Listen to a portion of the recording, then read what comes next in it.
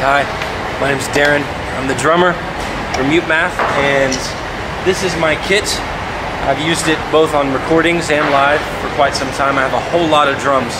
Um, I prefer vintage, old drums from at least the 70s or earlier. Um, my favorite piece is my 1940s WFL 15 inch snare drum that I bought out of a dude's garage back in Missouri, where I'm from, for 80 bucks. And this snare's been with me for a decade now. Every record from our first record through our fourth and most recent record, Vitals. I've used this snare, not exclusively, but it's always at least on a couple songs. And then uh, just a good old 1960s pre-CBS buyout.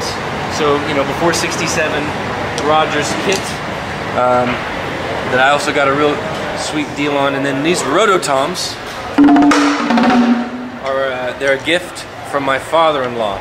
Uh, my wife basically married uh, a near carbon copy of her father, who's also a drummer and goofball.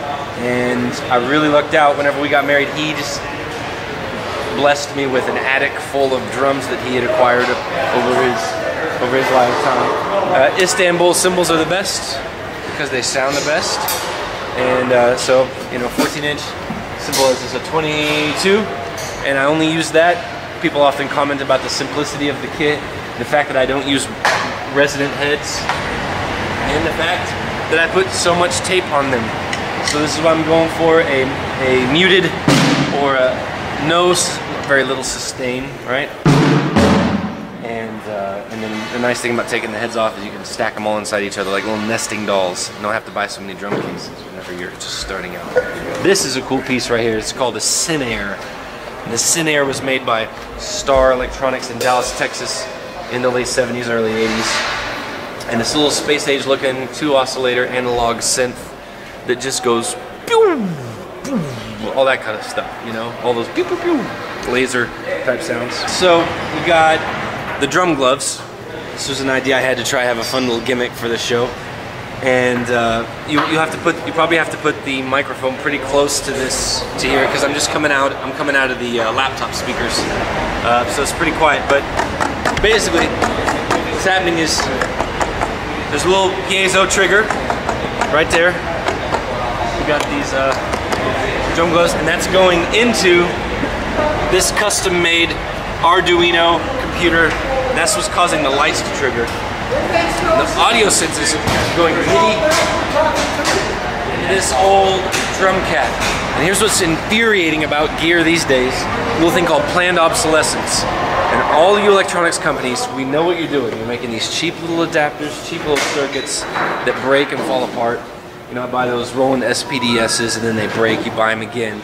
And they realize, well, if we, get them to break every year, they'll have to buy three of them, keep touring. So I use a 1980s drumKAT for my triggers.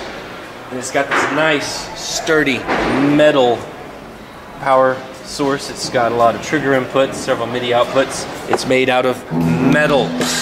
They made things out of metal in the 80s. Still, for a while.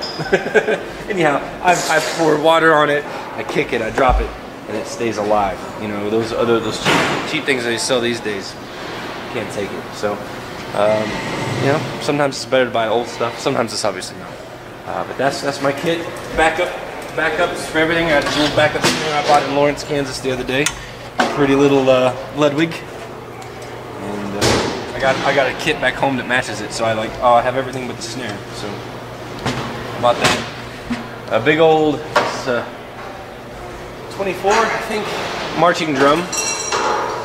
And uh, this is another one of my, my father-in-law gave me. Obviously somebody painted over it. It's kind of infuriating. It is obviously this beautiful gold sparkle, but somebody uh, painted over it. I think probably because part of the finish is missing right here.